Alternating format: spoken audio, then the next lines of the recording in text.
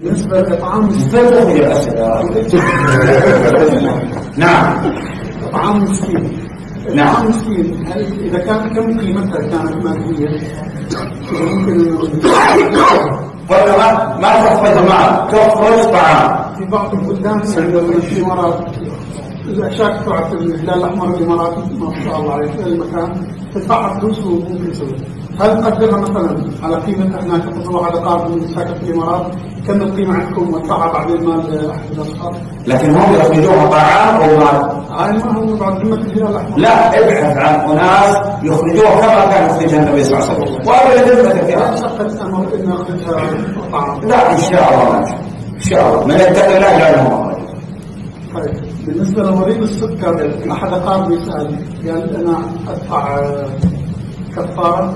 وأصوم في الأيام اللي ممكن أصوم فيها لا ما ليس إلا القضاء هذا الذي يستطيع القضاء يقضي فقط مين أوجب بالنسبة لسؤال الرعاة ما في أحيانا الرعاة في داخل الجامعة.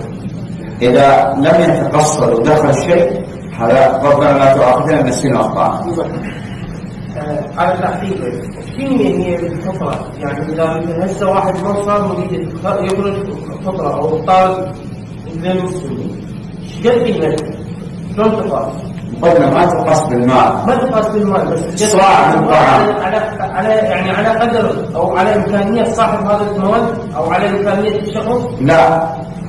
صاع من طعام. الصاع؟ كان الرز من الرز قد يقدر العلماء.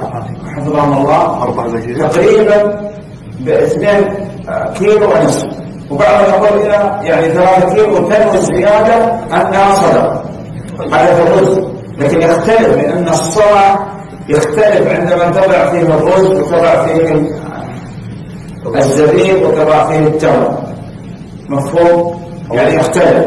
فهذا شيء ما عندك تذكر ذيك يتصل عليه من ما يقدر يصوم يطيق أنت تأتي عن الذي لا يستطيع على الصيام الذي لا يستطيع على الصيام يجمع ثلاثين مسكين في آخر يوم أو يطعم ثلاثين مسكين. أي طيب شلون راح يطعم 30 مسكين؟ حسب يصنع لهم مريض طعام ويطعمهم.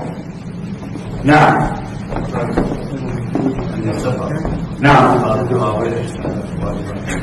كل صلاة التراويح على حتى بالحضر هي مستحب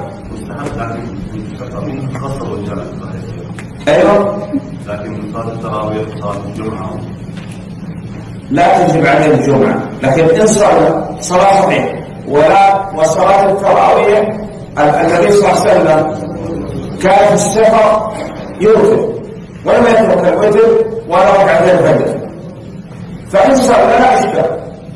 وإن لم يصلي لا إشكال. أنت. money.